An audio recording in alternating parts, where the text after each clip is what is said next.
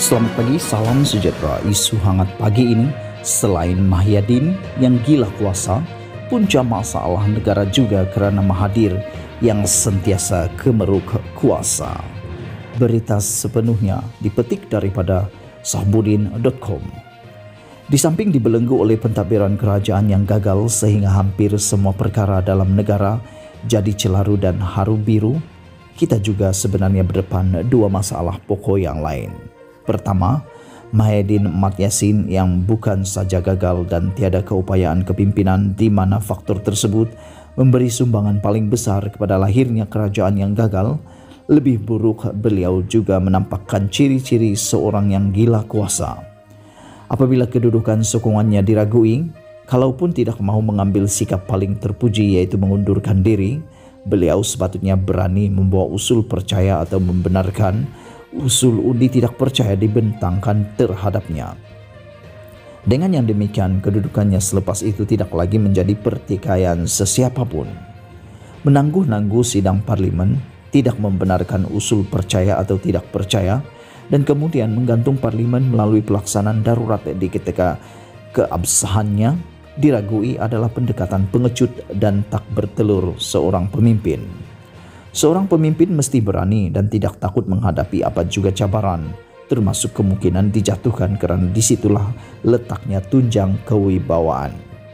Orang penakut bukan saja tidak layak menjadi pemimpin, kalau jadi pemimpin pun biasanya hanya memilih tempat di barisan paling belakang sekali.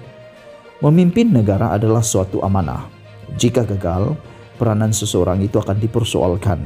Malah di akhirat nanti pun, pemimpin akan menjadi antara golongan pertama dipanggil menghadap Tuhan untuk ditanya berkaitan kepimpinan dan pelaksanaan amanah yang dipertanggungjawabkan terhadapnya. Dengan apa yang dilakukan Mahyidin untuk mengekal dan mempertahankan kuasanya selama ini, tanpa keraguan beliau adalah seorang yang boleh dikategorikan sebagai gila kuasa sebenarnya. Sudahlah tidak mampu memimpin, negara jadi haru biru, dan rakyat jadi tambah derita. Sokongan majoriti pula menjadi keraguan dan kemudian melakukan perkara-perkara luar biasa untuk menongkat jawatannya. Tidak rasa malukah dalam hati Mahyadin mengambil gaji dan elawan lumayan setiap bulan untuk menyerah hidup dan keluarganya? Masalah kedua negara kita ialah Tun Mahathir Muhammad yang masih kemeruk dan tak puas-puas mahu mengejar kuasa. Beliau berpeluang menjadi Perdana Menteri sebanyak dua kali. Kali pertama antara 1981 hingga 2003, yaitu selama 22 tahun. Dan kemudian selama 22 bulan antara 2018 hingga 2020 yang lalu. Selepas kali pertama meletakkan jawatan pada 2003 dan berulang kali mengatakan akan bersara sepenuhnya serta tidak akan bertanding semula dalam pilihan raya, dalam tempo persaraannya beliau bukan saja memusuhi semua Perdana Menteri selepasnya, bahkan kembali menjadi ahli parlimen pada 2018 lalu.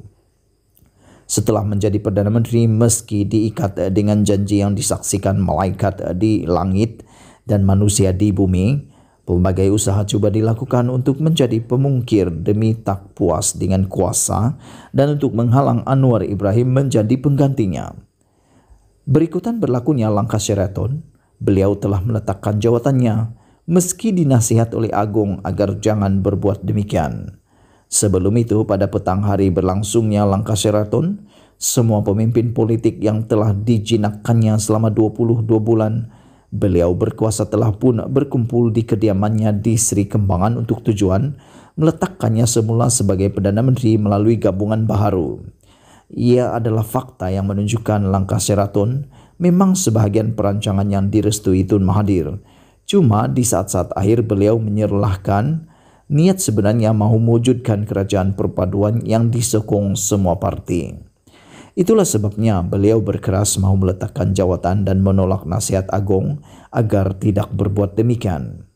Sebaik dilantik sebagai Perdana Menteri Interim, Tun Mahathir tidak berlengah lagi memperkenalkan idea mahu menubuhkan kerajaan perpaduan yang menjadikannya bukan saja Perdana Menteri lebih berkuasa, malah tidak lagi terikat dengan janji peralihan kuasa kepada Anwar.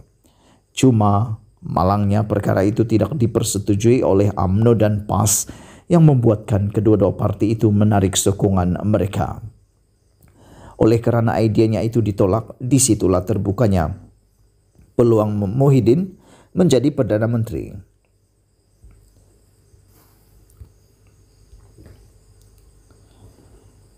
Oleh kerana idenya ditolak, di situlah terbukanya peluang Muhyiddin Yassin menjadi Perdana Menteri. Sedangkan perancangan pada peringkat awal menjatuhkan PH ialah hanya untuk membuang PKR, DAP dan amanah serta mengenepikan janji kepada Anwar Ibrahim dengan Tun Mahathir masih kekal sebagai Perdana Menteri sementara Mahidin akan mengisi jawatan timbalan Perdana Menteri. Disebabkan perancangan kerajaan perpaduan itu gagal, Tun Mahathir kemudiannya kembali mendapatkan sokongan PH tetapi beliau tetap enggan meletakkan Anwar sebagai calon timbalannya. Setelah Mahidin mengangkat sumpah sebagai Perdana Menteri dan kedudukan majoritinya kekal dipertikaikan, Tun Mahathir tidak berhenti lagi berusaha mahu menjadi Perdana Menteri. Kali ini dengan janji hanya selama enam bulan dan selepas itu akan menyerahkan kuasa kepada Anwar. Beberapa kelompok dalam PH sendiri ramai terpedaya dengan janji enam bulan itu. Bahkan ada yang lantang memberi tekanan kepada Anwar bahawa mereka akan menarik sokongan dan menjatuhkan Tun Mahathir selepas enam bulan kiranya janji itu tidak dipenuhi. Alhamdulillah Anwar dan PKR tidak terpedaya dengan janji manis yang cuba memperdayakannya itu. Gagal memujuk Anwar dan PKR, Tun Mahathir kemudian mencuba lagi untuk berkuasa dengan gabungan pula dengan Tunku Tengku Razali Hamzah. Entah apa yang dijanjikannya kepada Kuli sehingga ramai rasa hairan bagaimana ahli parlimen Gua Musang itu sanggup tampil mengadakan sidang media secara bersama Tun Mahathir Muhammad. Apabila usaha tersebut tidak menjadi kenyataan, Tun Mahathir dengan selamba akhirnya menyalahkan Kuli dengan mendakwa bekas Menteri Keuangan itu gagal menarik walau seorang pun ahli parlimen AMNO untuk bersamanya. Langkah terbaru Tun Mahathir untuk kembali berkuasa tiba-tiba muncul dengan beliau mencadangkan penubuhan kerajaan ala Megeran dengan menawarkan dirinya sebagai ketua. Namun berikutan kecaman banyak pihak berkaitan cadangan yang merupakan langkah ke belakang itu, beliau kemudian menukar idea Mageran kepada penubuhan Majlis Pemulihan Negara.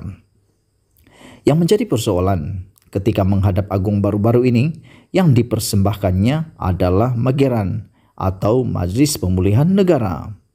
Apa yang jelas, semua langkah, usaha dan tindakan yang diambil oleh Tun Mahathir sejak meletak jawatan dan menolak nasihat agung supaya tidak berbuat demikian hanyalah semata-mata untuk kembali berkuasa semula.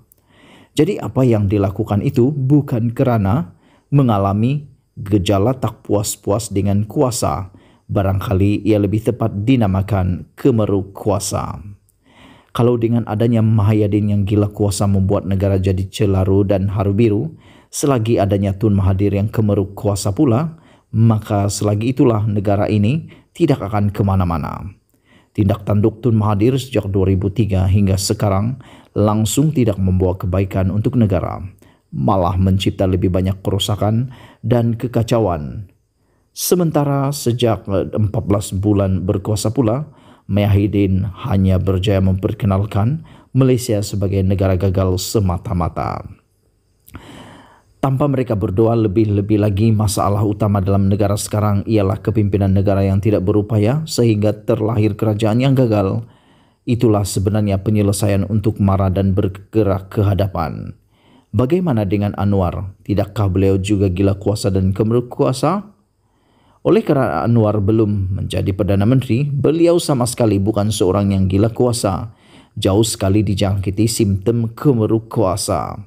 Anwar lebih sesuai dipanggil pemburu kuasa dan perkara itu adalah biasa bagi mana-mana pemimpin selagi mereka mempunyai sokongan serta dukungan yang munasabah di belakangnya untuk diangkat menerajui negara. Anwar hanya akan menjadi seorang yang gila kuasa jika setelah menjadi Perdana Menteri nanti, beliau turut melakukan seperti apa yang Mahyadin lakukan atau ketika setelah bersara tetapi meniru sama perangai seperti Tun Mahathir ditulis oleh Sabudin Husin 13 Jun 2021. Sekian isu hangat pagi ini. Jangan lupa tekan butang subscribe dan kita jumpa lagi.